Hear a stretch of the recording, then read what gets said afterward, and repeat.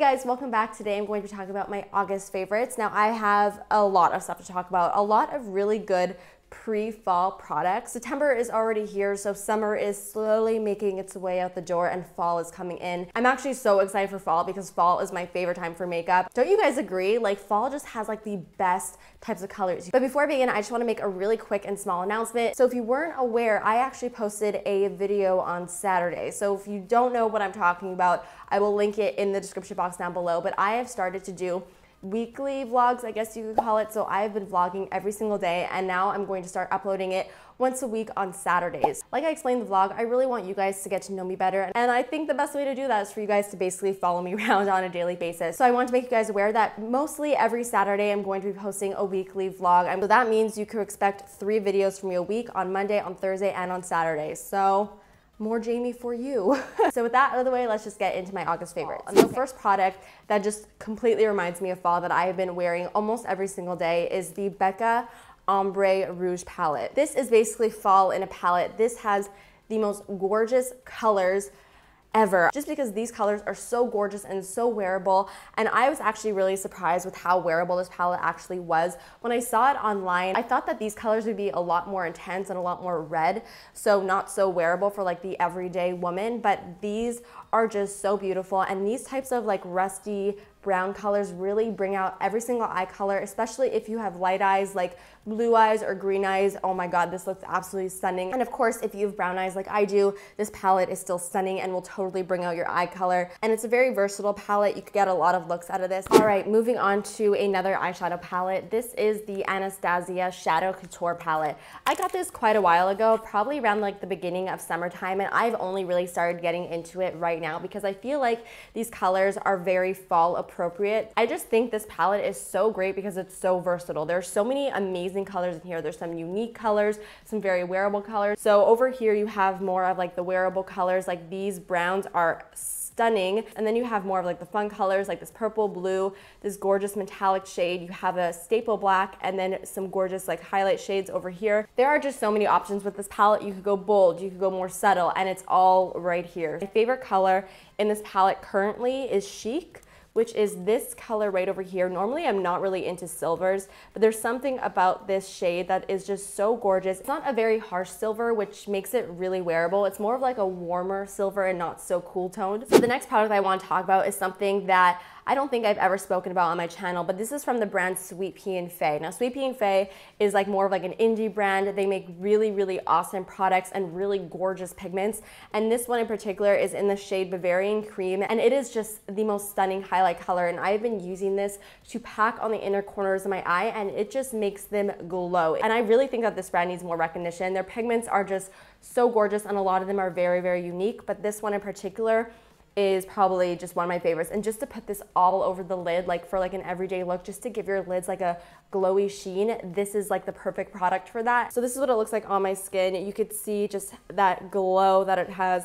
It's just gorgeous. All right, I have a lot of like products that I want to talk about. The first one that I want to talk about is actually the one that I'm wearing on my lips right now. This is the ColourPop Ultra Matte Lip in the color uh, Bumble. I'm cheating a little bit. I got this just last week, but I really, really had to mention it because this lip color is the perfect fall lip. Like this just screams fall to me and I'm obsessed with it. I really like the formula of these ultra matte um, lipsticks. They dry in like three seconds as soon as you put them on your lips and they do last a really nice amount of time. This color is just so beautiful because it's that really like rusty reddish color, but it's not too dark that it makes it a little bit harder to wear. Like you could definitely rock this during the day, no problem. Another liquid lipstick that I want to talk about are the Ofra liquid lipsticks. It's more like the Ofra liquid lipsticks in general. They have become my favorite liquid lipsticks I've ever tried. But this color in particular has been my favorite this month. This is called Pasadena.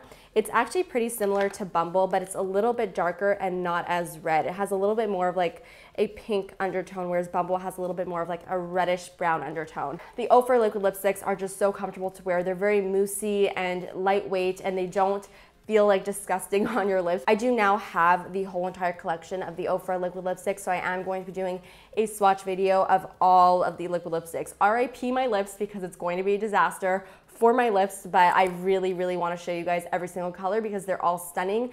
And really exciting. Ofra actually gave me a 30% off discount code for you guys. It is not an affiliate code whatsoever. It's just to give you guys some money off on these liquid lipsticks. And the code is Jamie30. So that's amazing. 30% off is a really, really big discount. So thank you so much to Ofra for giving this to my subscribers because it's amazing. But wait for that lip swatch video that I'm going to be doing because you're gonna be able to see all the colors on the actual lips. So stay tuned. Oh, I forgot to swatch this. Oopsies. So this is what Pasadena looks like. It's just like that typical like dark nude color that everybody's been wearing lately. It's really, really pretty. All right, so next I wanna talk about this Fantabulous lip gloss from Marc Jacobs. These lip glosses are my all-time favorite lip glosses that I've ever tried. I've mentioned these, I believe, in one of my other favorites videos. I'm not sure which one, but I have raved about these before and I am still raving about them and I'm raving about them hard. These are my all-time favorite lip glosses and I could say that with like 100% confidence. I have just been really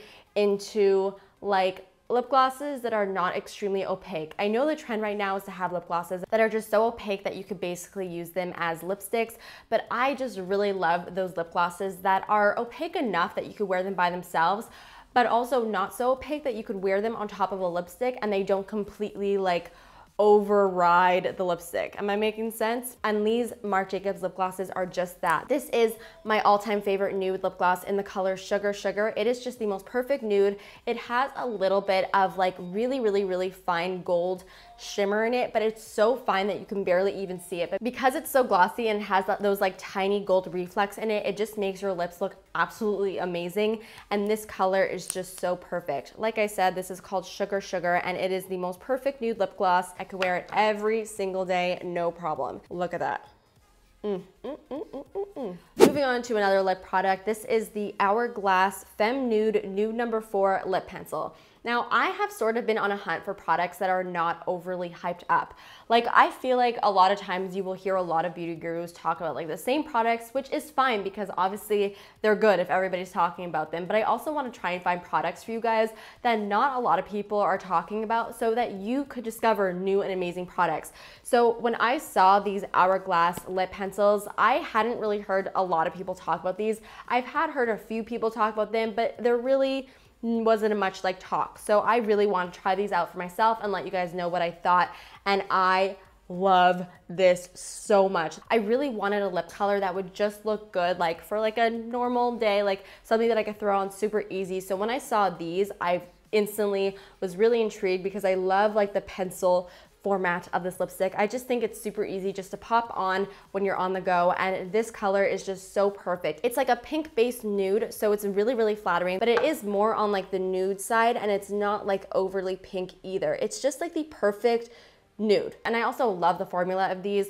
I find that they're very very creamy like they're so creamy that they don't even feel like a lipstick. They almost feel like a balm. They're not the most long wearing lip like products that I've ever tried because they're not like a long wearing like matte lipstick. But like I said, for every day, this is like just such a great product. All right, speaking of products that not a lot of people talk about, I hear literally nobody talk about the Makeup Forever Rouge Artist Intense lipsticks.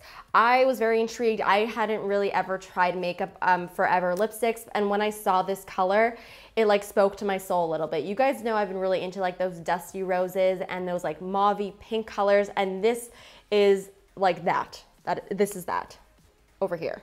This is in the color number 31. It is a satin finish.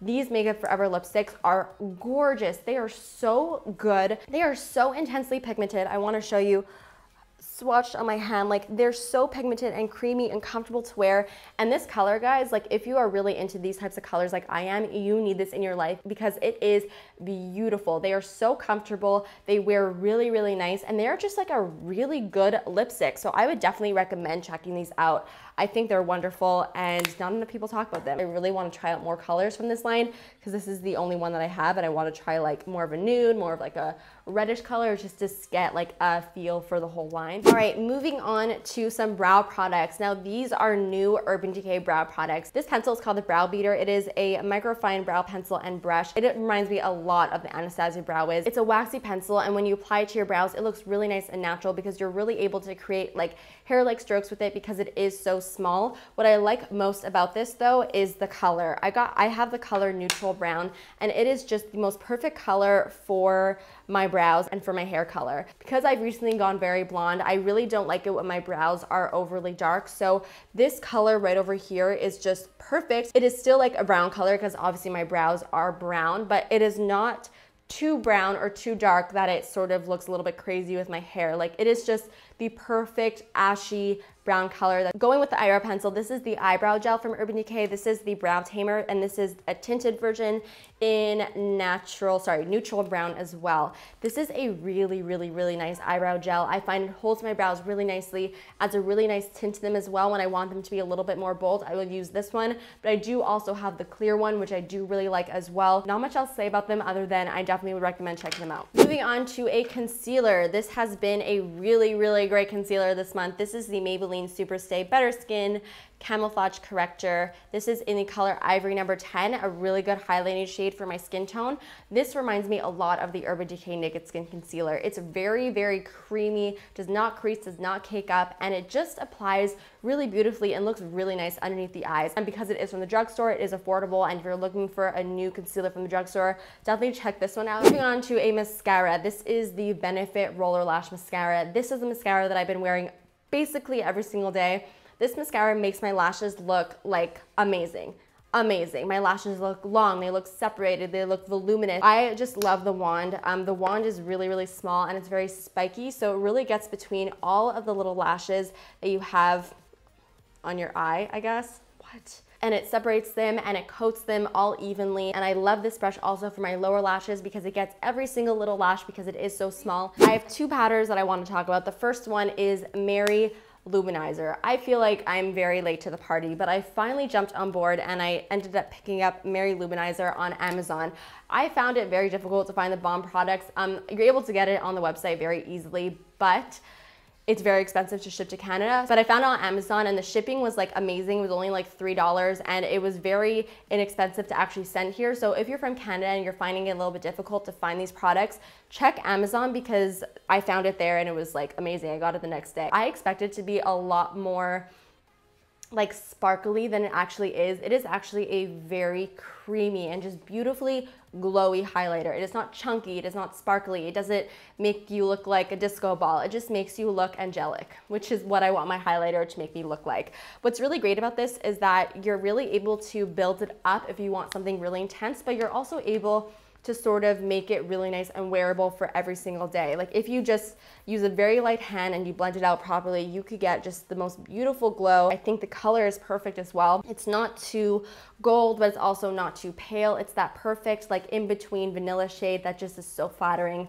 on pale skin. All right, so I have to talk about this blush again. I feel like I rave about this way too often, but this is literally the blush that I wear every single day. It's what I'm wearing now. It is the Too Faced Love Flush Blush in Baby Love. It is just the best. It's the perfect nude dusty rose type of blush. It goes with everything, doesn't clash with anything, and it is just so good. It's pigmented, creamy, easy to blend, easy to wear, all the things that you want a blush to be. All right, moving on to some face base products. I have a Sephora Illuminizer Foundation Primer here. Um, again, I feel like Sephora brand products do not get spoken about enough because I feel like people just get a little bit scared off because it's like the Sephora brand you know what I mean? But they really have really awesome products in their line, and I really think a lot of them are worth checking out. This is the Illuminizing Primer. If you want it to look glowy, you could definitely use like the Becca Shimmering Skin Perfectors, like the liquid versions, but that gives you such an intense glow that it's it could be a little bit too much sometimes, whereas this just has such a beautiful luminosity to it. It is not over the top or it doesn't make you look oily or greasy. It just gives you such a beautiful glow. I don't know if the camera's gonna be able to pick it up, but it has like a luminescence to it, which is really interesting. It's something that I've never really seen in a primer um, except for this one. And it's just so pretty to use like underneath your foundation. I have a favorite foundation. This is the Dior Air Flash Spray Foundation. I've been hearing people just like raving about this forever now and I finally decided to actually try it out. Um, I'm really happy that I did because I I'm obsessed with this. This is such a great foundation. It's very different than your normal foundation because it is in like a spray bottle. So you could be like, what? What are you, what are you supposed to do with this? Are you supposed to spray this on your face? They say that you could spray it on your face, but really I would not do that. What I like to do is I spray it on the back of my hand. I take a brush or a beauty blender and I just use that to apply it onto my face. And it makes my skin look so airbrushed and so beautiful and the coverage is so amazing, but yet it looks and feels so lightweight. So my skin is so dry and it really doesn't accentuate the dry patches on it. It just makes it look so good. I'm in the color 200. If you've been on the fence about it like I have been, I would just take the plunge and try it out or at least try a sample of it because you may be pleasantly surprised. This is probably like gonna be another holy grail product. I just, I really, really love it. I have two more products that I wanna mention. The first of those two is this Sephora Pro Airbrush Concealer Brush in number 57. This brush has been in my collection for a really long time, but I've only really recently started to use this. This is the best brush to blend out concealer. It's small enough that you're really able to fit it underneath your eyes, but it's also large enough that it doesn't take you like 15 years to blend out your concealer. It just does it really, really quickly. And this just makes your concealer look airbrushed. I use it basically every single day. It's just, it's so good. All right, T, last but not least, I have a hair product.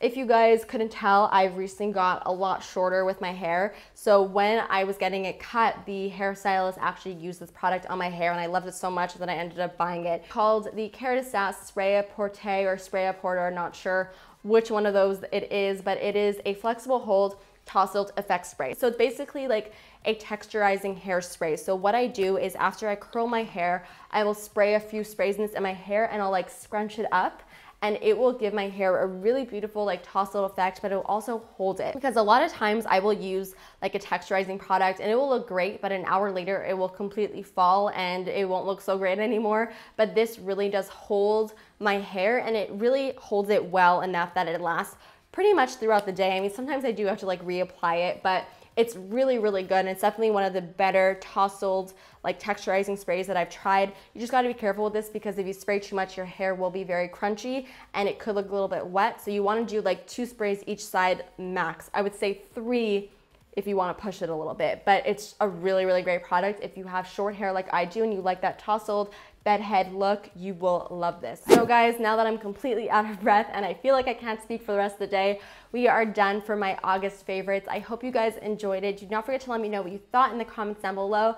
Give this video a big thumbs up and of course subscribe if you're not subscribed already. And always let me know in the comments down below what your favorite product was in the month of August because I love hearing your suggestions. You guys are awesome. And that's pretty much it. And I will see you guys next time. Bye. Love you.